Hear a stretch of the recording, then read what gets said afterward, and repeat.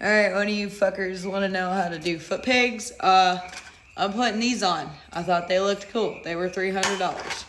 This is what we're taking off, little stalkers. It's a Yamaha. There's a cotter pin. There's a regular pin that comes through. There's a spring. I don't want to show you every minute of my struggle, so I will update you as we go. Take your super shitty state issued pliers and pull out the cotter pin.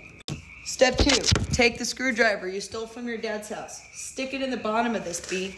I use the pliers because I'm an idiot. And I literally own a hammer, but you know what? It works, all right? This is literally just gonna slide off. Like, if you are struggling to get that off, my friend, I got news for you. Got really bad news for you. Take that bad boy. It's gonna hook over the top of the foot peg. It's gonna hook over the, the frame of the bike. Or, you know, the foot peg mount. I don't have, I'm not a mechanic, all right? All right, now you gotta get the pin in.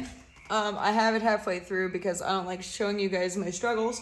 But make sure you line it up because they don't line up. And then if you try to grab it and move it, it hurts. So uh, take your shitty pliers, stick them in here to move this around to get it to line up. Take your hammer that you've literally never used, very lightly tap that in. If you don't want to do it like that, stick a screwdriver in the end of it, very lightly tap the screwdriver. However the fuck you want to do it, I really don't care.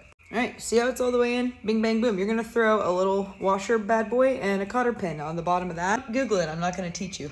That's all, thank you. I really hope these destroy my boots. So anyway, um, this is what it looks like. Final product. Um, if you want your cotter pin to work, I do it like that. Everybody has a different way. I don't give a shit what way you put your cotter pins in. This works for me. I spent $300 on these foot pegs and I really hope they don't, you know, cut me a new asshole. Anyway, have a nice day, guys. Yay.